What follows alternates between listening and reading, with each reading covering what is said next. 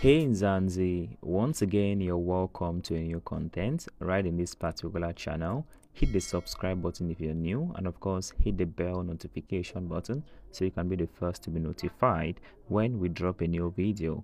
Well, it is now becoming obvious that political leaders will always have each other's backs when it comes to something that would destroy their careers.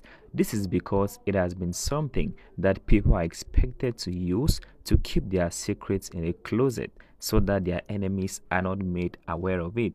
Well, the reason for this is that they are mostly captured by certain systems in the political party. They must not let anyone outside the party know. Well, I'm sure you guys should be wondering what exactly we're talking about. But the people of South Africa this week actually woke up to the most devastating news that a well known politician has been accused of rape. Well, this is coming in after a well known former ANC Secretary General Ace Magashule opened a case of rape after it was allegedly discovered that he did something like this to a student back in 2017 and of course he did it multiple times. Well right now most people actually want to believe that magashule used different hotels and of course shopping malls to buy female students gifts so that he would actually not be held responsible if anything should come out to like paint his name red I mean, he actually wanted to be seen like a good messiah or something.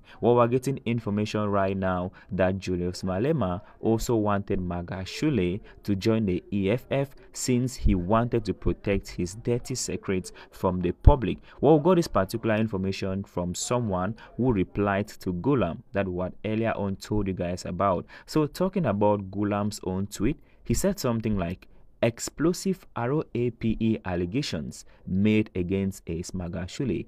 Charges of rape have been opened against Ace Magashule. This is after Ace Magashule is alleged to have done something like this to a victim multiple times in different hotels around Gauteng. Well, someone actually replied and wanted us to believe that it is actually true that maybe Julius Malema's main reason for telling Magashule to join his political party, that is the EFF, was so that he could actually protect him. Well, the tweet or the retweet was captioned with something like, possibly Julius Malema knew about it and told him to join the EFF. His secret would be saved. Later, find out people are leaving EFF to ACT, which got him angry, and then he told the women to report it to the media. That's how politicians operate. Well, this particular person who happens to be called Patricia Bantam actually has a point. So tell me in the comment section, do you think Julius Malema's main reason for telling Ace Magashule to join his own political party, the EFF, was so that he could protect Ace's dirty secrets? Leave your thoughts just known in the comment section.